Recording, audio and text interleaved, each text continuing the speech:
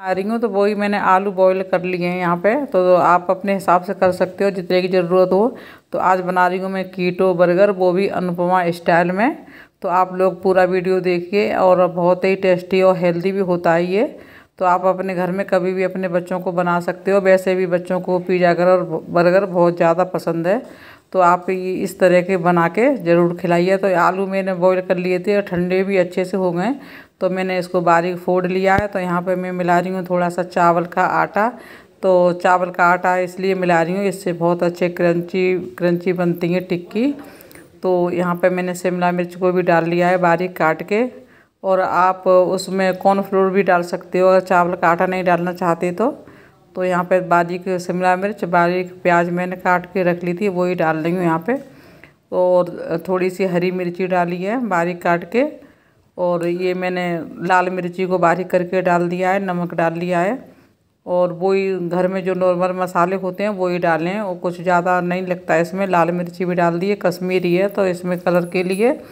और थोड़ा सा यहाँ पे हल्दी पाउडर डाल दिया है। सारे मसाले डाल लिए हैं। अब ये इनको मैं मिक्स कर लूँगी।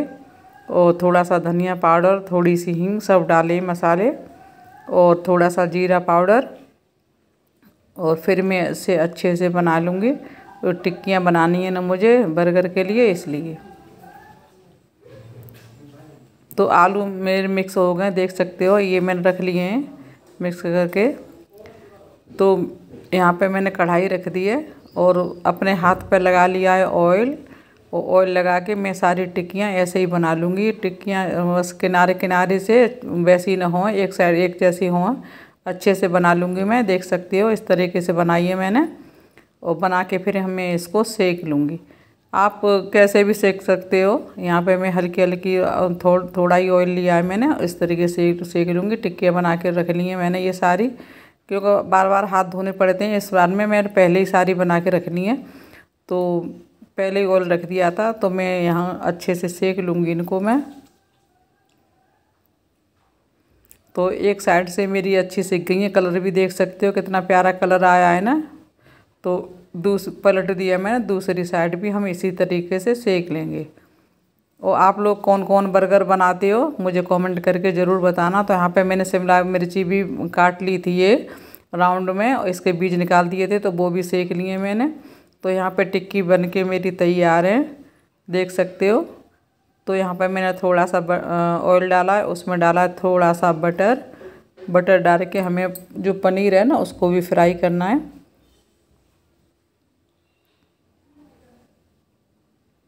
तो यहाँ पे मैंने पनीर के स्लाइस बना लिए थे, क्योंकि हमें उसमें रखे हैं टिक्की में बर्गर में तो इसलिए। तो मैं इनको भी पलट लेती हूँ हल्का हल्का सेकना है, ज़्यादा नहीं सेकना है पनीर को। तो शिमला मिर्च भी सेक ली थी मैंने, टिक्की भी सीख गई थी। अभी पनीर भी मैं सेक लेती हूँ। देख सकते हो, पनीर इतना सेक लिया है मैंने। तो यहाँ पे मैं बर्गर बनाने की शुरू करती हूँ। तो पत्ता गोभी की ज़रूरत थी। पत्ता गोभी के ये परत उतार लिए हैं मैंने, ऐसे निकाल लेते हैं, आसानी से निकल आते हैं। और ये मैं उन्हें डाल देती हूँ मैं इस पर ये पत्ता से ही बनते हैं। तो इस तरीके से मैंने बनाए हैं। चम्मच से हम ऐसे फैला लेते हैं सारे पे। इस तरीके से आप हाथ से भी फैला सकते हो। तो यहाँ पे मैंने टिक्की रख दी है।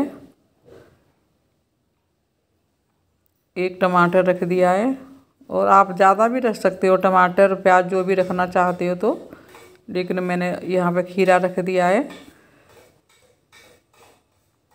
प्याज रख दिया है। प्याज छोटे थे, इसलिए दो रख दिए, खीरा भी दो रख दिए। हैं जैसे आप रखना चाहते हो, वैसे रखिएगा। शिमला मिर्च रख दी है और हेल्दी पिज़्ज़ा हेल्दी बर्गर बना रही हूँ मैं। यहाँ पे सॉस डाल दिए टमाटो सॉस।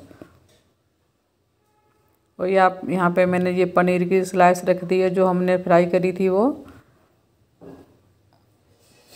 यहाँ पे चीज़ घिस रही हूँ मैं। आप परत भी वैसा आता है, वो भी रख सकते हो। तो यहाँ पर चाट मसाला डाल दिया है मैंने।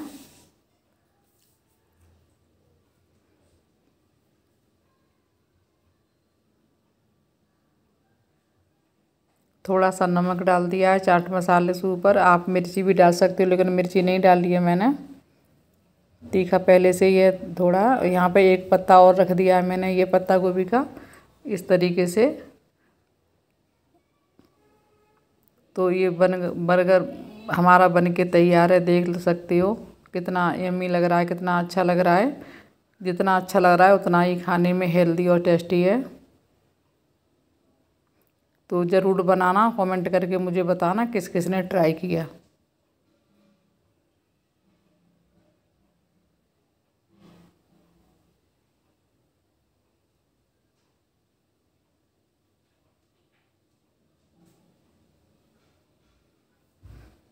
ये आप पत्ते भी सेक सकते हो।